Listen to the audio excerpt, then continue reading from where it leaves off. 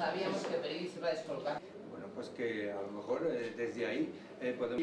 Que ahora tenemos aquí a la amiga Rocío, que Eh, eh, en esta saleta de hasta seis años. Este es uno de los proyectos eh, que tienen una especial eh, singularidad eh, porque tienen una carga innovativa, algo que a veces se nos olvida en nuestra propia sociedad.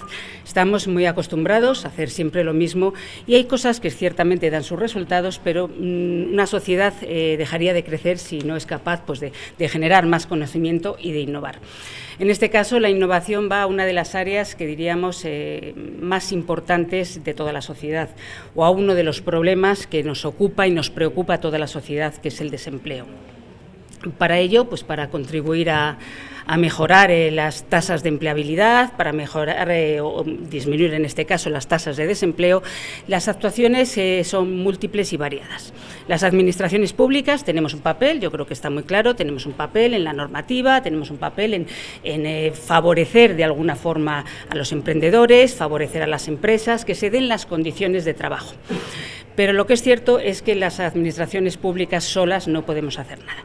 Necesitamos eh, pues que los emprendedores, las empresas lo hagan, pero también, y en este caso es lo que quiero destacar, que la sociedad de alguna forma se implique.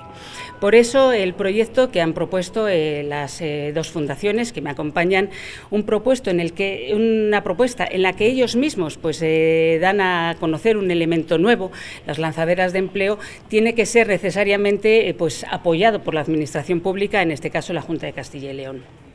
Estas lanzaderas, independientemente de lo que les puedan explicar con mayor detalle ellos, pues eh, suponen que los jóvenes eh, participen en su propia, sean partícipes, mejor dicho, de su propia empleabilidad.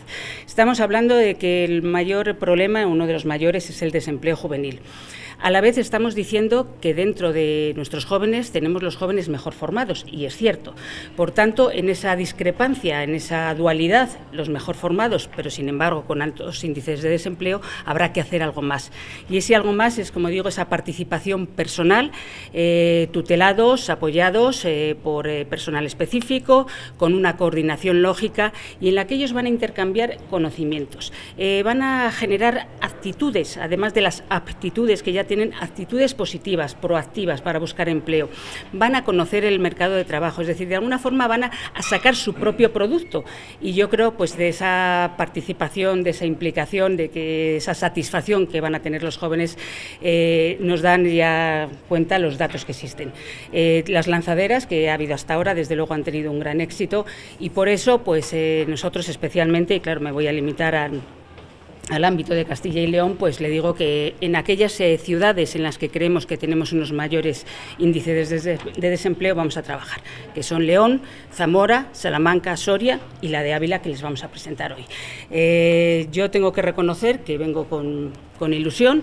Eh, José María Peridis hace unos meses casualmente coincidimos y me contó, me contó lo que eran las lanzaderas, me pareció una idea singular y pues la vida, en ese devenir que tiene, pues ahora me da la oportunidad de, de, disfrutarlo y de verlo en primera persona. Pero lo que sí le digo es que las referencias, eh, todas eh, las que se han realizado hasta ahora, han sido motivo de éxito y, por tanto, es una nueva forma, no la única, por supuesto, pero es una nueva forma de mejorar en el empleo. Desde la Junta apoyamos esta y todas aquellas que pudieran venir.